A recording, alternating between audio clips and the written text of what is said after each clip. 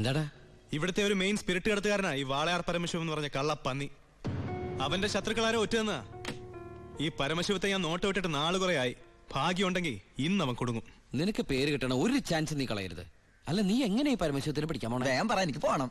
ഏ? അല്ല അമ്മ അമേരിക്ക അത് മേടിക്കാൻ പറഞ്ഞ ആ, അതെ, കേട്ടാ ഈ കള്ളക്കടത്തുകാരുടെ കച്ചിത്തുരുമ്പെന്ന് പറയുന്നത് നമ്മുടെ പോലീസുകാർ തന്നെയാ. തുച്ഛ ശമ്പളത്തിന് ജോലി ചെയ്യുന്ന അവർ നക്കാപ്പിച്ച വെടിച്ച് സേഫായ വഴികൾ അവർക്ക് പറഞ്ഞു കൊടുക്കും. അതുകൊണ്ട് ഞാൻ ഇന്ന് എന്റെ പോലീസുകാരുടെ മുന്നിൽ ഒരു നാടകം കളിക്കാൻ പോകും നാടകോ? ടിക്കറ്റ് വെച്ചാണ്? ഫ്രീ അല്ലേ ഇന്ന് ഹൈവേയിൽ ചെക്കിംഗ് എന്ന് പറഞ്ഞ് പോലീസുകാരെ ഞാൻ റെഡിയാക്കി നിർത്തും. എന്നിട്ട് ഞാൻ ആ നേരത്ത് പാരലൽ റോഡിൽ ചെല്ലും. പോലീസിൽ നിന്ന് കിട്ടിയ ഇൻഫർമേഷൻ അനുസരിച്ച് ആ ലോറി പാരലൽ റോഡ് വഴിയേ വരൂ. ഞാൻ അവനെ പൊക്കുകയും ചെയ്യും. എങ്ങനെയുണ്ട് എന്റെ ഐഡിയ? സൂപ്പർ ഐഡിയ അല്ലേ? എനിക്ക് നിന്നെ കുറിച്ച് അഭിമാനം തോന്നാണ് നീയാ. പറട്ടെ ഏട്ടാ. കർത്താവേ കള്ളന്റെ കയ്യിൽ തന്നെയുള്ള താക്കോൽ കൊടുത്തത്.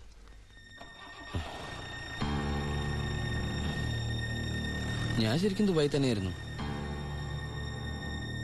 ഞാനും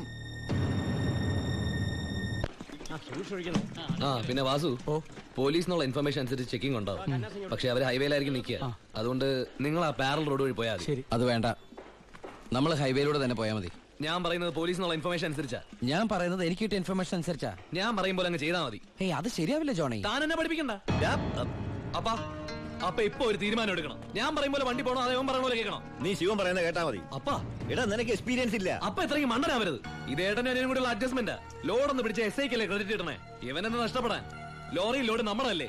ദാ ബലിയാടാവൻ പാവൻ ഡ്രൈവർ ഇനിയൊക്കെ അപ്പന്റെ ഇഷ്ടം പോലെ ചെയ്തോ. ആ. അവൻ പറയുന്നൊന്നും നീ കാര്യമാക്കണ്ട ശിവ. ഇല്ല ബായ്. ഇവനും എന്റെ ബായ് അല്ലേ ബായ്.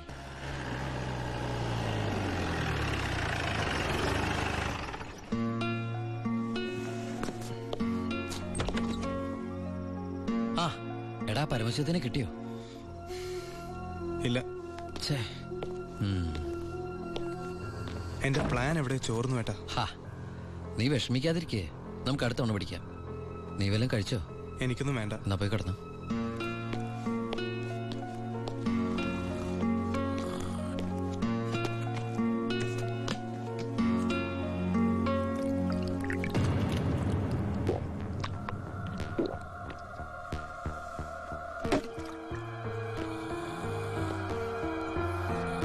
ഡോ, അയ്യോ എനിക്കൊന്നും അറിയില്ലേ എനിക്കൊന്നും അറിയില്ലേ നീ ഇപ്പൊ എന്താ പറഞ്ഞേ? ഞാനൊന്നും പറഞ്ഞില്ലല്ലോ. എനിക്കൊന്നും അറിഞ്ഞൂടാന്ന് പറഞ്ഞതോ? അയ്യോ സാറിനൊന്നും അറിയില്ലെന്ന് ഞാൻ പറഞ്ഞില്ലല്ലോ. സാറിന് എല്ലാം അറിയാം. എനിക്കല്ല നിനക്ക്. എനിക്കോ? എനിക്കൊന്നും അറിയില്ലല്ലോ. എനിക്ക് എന്തെങ്കിലുമൊക്കെ അറിയാമായിരുന്നെങ്കിൽ ഞാൻ പണ്ടേ മന്ത്രിയോ കളക്ടറോ ആരെങ്കിലും ഒക്കെ ആയേനെ. പരമശിവത്തിനെ പിടിക്കാൻ ഞാൻ പറഞ്ഞ പ്ലാൻ എങ്ങനെ? ചോർന്നേ കർത്താവ് അത് ചോർന്നോ സത്യം പറയടാ പരമശിവത്തിനെ നിനക്കറിയില്ലേ? എനിക്കറിയില്ല. കള്ളം. നിനക്ക് പരമശിവത്തിനെ അറിയില്ല നിങ്ങൾ തമ്മിൽ എന്താണ് ബന്ധം? വലിയ ബന്ധമൊന്നുമില്ല. ഇടയ്ക്ക് അവിടെ ഇവിടെ ഒക്കെ കാണാറുണ്ട്. ആരാടേ പരമശിവം പറയടാ. നീല നിറത്തിൽ കഴുത്തേൽ മൂർക്കം പാമ്പിനൊക്കെ ചുറ്റി മുടി നീട്ടി വളർത്തി തലേന്ന് ഗംഗേനെ ചാടിച്ചിട്ട് ഈ കാലണ്ടറിലും സിനിമയിലും ഒക്കെ കണ്ടിട്ടുണ്ട് നമ്മുടെ പാർവതിയുടെ ഹസ്ബൻഡ് ഗണപതിയുടെ അപ്പൻ പരമശിവൻ അതല്ലാതെ കൂടുതലൊന്നും എനിക്കറിയില്ല സാർ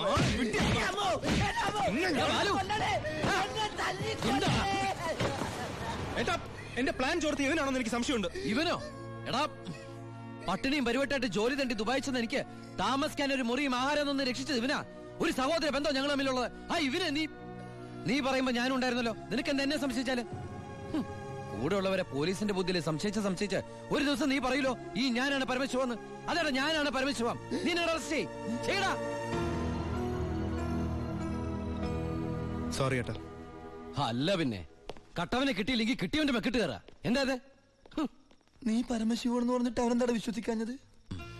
ചില നേരത്തെ സത്യങ്ങൾ നുണയായിട്ടേ മറ്റുള്ളവർക്ക് തോന്നും. ചില നേരത്തെ നുണകൾ സത്യമായിട്ടും. നിന്നോട് ഞാൻ പറഞ്ഞിട്ടുള്ളതല്ലേ ഈ വീട്ടിൽ ഒറ്റയ്ക്ക് ഇരിക്കരുത് നടക്കരുത് കിടക്കരുതെന്ന്? ഞാൻ ബാലരമല മായാവി വായിച്ചു ഉറങ്ങിപ്പോയതാ. ഇന്നത്തോടെ ഇവിടുത്തെ പൊറുതി മതിയാക്കിക്കോ. നാളെ മുതൽ നീ ബായുടെ ഗസ്റ്റ് ഹൗസിൽ താമസിച്ചാൽ മതി.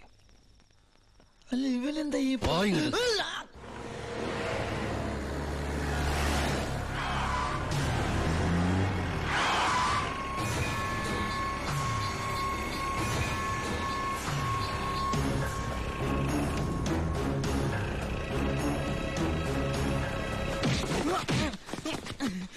என்ன சார் நான் தப்பு ஒன்றும் பண்ணலையே പാണ്ഡ്യൻ അത് തന്നെയല്ലടാ നിന്റെ പേര് ஆமா சார் അന്ന് നീ എന്റെ വീട്ടിൽ കുറച്ച് പണമായിട്ട് വന്നിരുന്നില്ലേ ஆமா சார் അത് കുഴൽപ്പണമായിരുന്നടാ தெரியாது சார் சென்ட்ரல் ஜெயில இருந்து பரமசூத்துக்காக தான் நாங்க வந்தது പരമശിവത്തുക്കായോ ஆமா சார் പരമശിവൻ ഏട്ടൻ തമ്മിൽ എന്താണ് ആ ബന്ധം தெரியாது சார் அதுக்கு மேல எனக்கு ஒன்றும் தெரியாது ഏത് ജയിലാണ് പരമശിവൻ കിടന്നത് திருவனந்தபுரம் சென்ட்ரல் ஜெயில்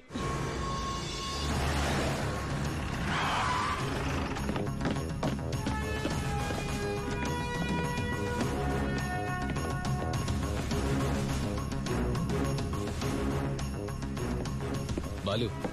ദാ വാളയാർ പരമശിവത്തിന്റെ ഹിസ്റ്ററി ബുക്ക്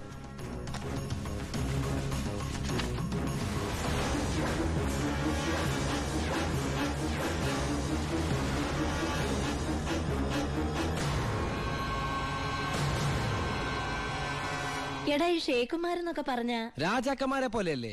പലതരത്തിലുള്ള ഷെയ്ക്കുമാരുണ്ട് ദുബായ് ഷേക്ക് ഷാർജ ഷേക്ക് ഈ ഷാർജ ഷേക്ക് ഷാർജയിൽ മാത്രമേ കാണുള്ളൂ. പിന്നെ മിൽക്ക് ഷേക്ക് മിൽക്ക് ഷേക്ക് ആ ഒട്ടകത്തിന്റെ പാൽ മാത്രം വിറ്റ് ജീവിക്കുന്ന ഷേക്കുകളാണ് മിൽക്ക് ഷേക്കുകൾ ശരിക്കും അങ്ങനെയുണ്ട് സത്യം. ഏട്ടാ ഏട്ടാ ഏട്ടാ അവരോടൊക്കെ സംസാരിച്ചിട്ടുണ്ടോ? അയ്യോ, എനിക്കിതിനല്ലേ പണി. അറബി സംസാരിക്കും. പിന്നെ അറബി സംസാരിക്കാതിരിക്കോ എല്ലാവരും ഊമയെ കഴിഞ്ഞ ഒരു രാജ്യത്ത് അല്ല ഏട്ടാ.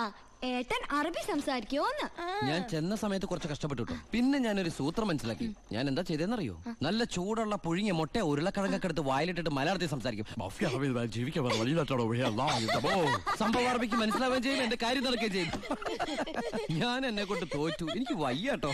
ആ, നീ കേട്ടോടാ ഇവന്റെ ഓരോ ദുബായ് തമാശ ഇനിയുണ്ട് കൊറേ. അമ്മ വേഗം ഭക്ഷണം എടുത്തു വെക്ക് ഇന്ന് വയറ് നിറച്ച് കഴിച്ചിട്ട് സുഖമായിട്ടൊന്ന് ഉറങ്ങണം. കുറെ നാളായിട്ട് ഊണ് ഉറക്കവും ഇല്ലാതെ ആ പരമശിവത്തെ പിടിക്കാൻ നടക്കുകയില്ലായിരുന്നു? എന്നിട്ടാളെ കിട്ടിയോട്ടാ ഫുൾ ഡീറ്റെയിൽസ് കിട്ടി. Walayar Paramasivam father nil mother nil native place Palakkad border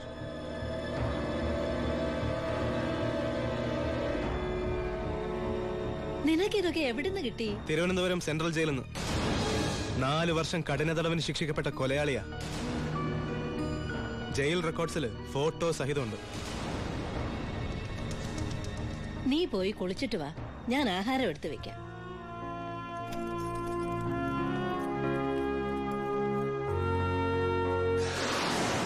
Walayar പരമശിവത്തെ കുറിച്ച് ഇതിൽ കൂടുതൽ എന്തെങ്കിലും ഏട്ടൻ അറിയണോ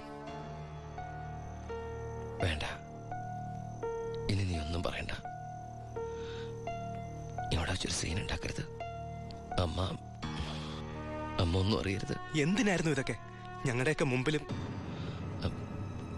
സാഹചര്യങ്ങൾ അങ്ങനെ. ഇതൊക്കെ എല്ലാ ക്രിമിനൽസിന്റെ ന്യായീകരണങ്ങളാ. ബാലു? ഈ യൂണിഫോമിന്റെ മുന്നിൽ ഏട്ടനിയൻ ബന്ധമില്ല സറണ്ടർ ആകണം എന്തിന്? സ്പിരിറ്റ് എടുത്തേനോ എന്താ തെളിവ്? അതല്ല ചിന്നാടൻ ബാബുവിനെ കുത്തിക്കൊല്ലാൻ ശ്രമിച്ച കേസിന്. ഓ. വാറണ്ടുണ്ട് ഞാൻ നാളെ രാവിലെ സ്റ്റേഷനിൽ വരാം. എന്നെ വിശ്വസിക്കേ? നാളെ രാവിലെ കൃത്യം പത്ത് മണിക്ക് ഞാൻ സ്റ്റേഷനിലെത്താം. പ്ലീസ്.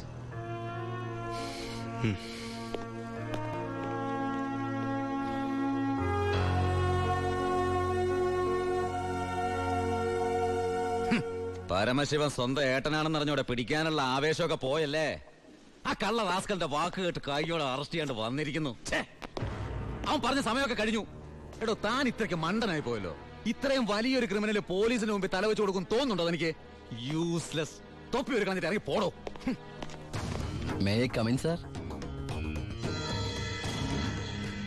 sharp ten o'clock സർക്കാർ ക്ലോക്ക് പത്ത് മിനിറ്റ് ഫാസ്റ്റ് ആണല്ലോ എസ് പി സാറിന് ഞാൻ ഇവിടെ പ്രതീക്ഷയില്ല കേട്ടോ. വലിയ ക്രിമിനൽസിനെയൊക്കെ കൈകാര്യം ചെയ്യുമ്പോ മിനിമം എസ് പി റാങ്കിലുള്ളവരെങ്കിലും വരേണ്ടി വരുമല്ലോ. എന്റെ ഒരു ചെറിയ കുത്തേസല്ലേ സാറേ? ജാമ്യം കിട്ടും. സ്വയരക്ഷയ്ക്ക് വേണ്ടി തടഞ്ഞപ്പോഴുണ്ടായ ഒരു കയ്യബദ്ധം. അതാണ് ലോ പോയിന്റ്. അഡ്വക്കേറ്റ് ഇപ്പോൾ വരും. അതുവരെ ഞാൻ അകത്ത് കിടക്കണോ സാറേ? അതോ പുറത്തിരിക്കണോ? അപ്പൊ കുറച്ചു നേരം എനിക്ക് നിന്നെ കൈകാര്യം ചെയ്യാൻ കിട്ടുമല്ലേ? അഞ്ച് മിനിറ്റ് മതിടാ എനിക്ക് നിന്നെ കൊണ്ട് ചോര തുപ്പിക്കാൻ.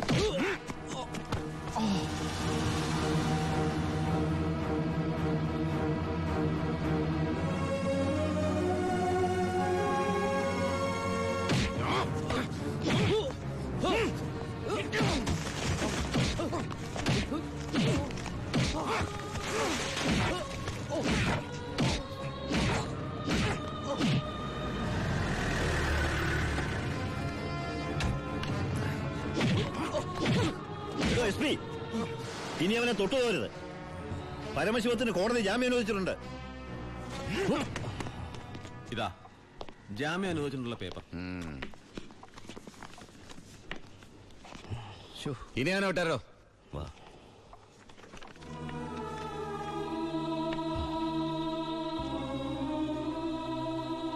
നിനക്കെന്നെ തല്ലണമെങ്കിൽ അത് വീട്ടിൽ വെച്ചാ കാര്യന്നില്ലേ നീ തല്ലെനിക്ക് വേനിക്കില്ലടാ ഇതിപ്പോ ആ എസ് പി സാറിനെ കൊണ്ട് കൊള്ളാം. എസ് ഐ എസ് പിയെ കൊണ്ട് തല്ലിക്കുക ഹും, ഇവൻ മിടുക്കനാണ് ബായ്. മിട്ടു മിടുക്കൻ. ഇവന്റെ അനിയനാണെന്നുള്ള ഒറ്റ കാരണം കൊണ്ടാണ് നീ ഇപ്പൊ ഇങ്ങനെ നീണ്ടു തുറന്നു നിൽക്കുന്നത് ഇല്ലേ പണ്ടേക്ക് പണ്ടേ നീയൊക്കെ നടറോട്ടി കിടന്ന് ഇടഞ്ഞേനെ. Bye bye. വാ.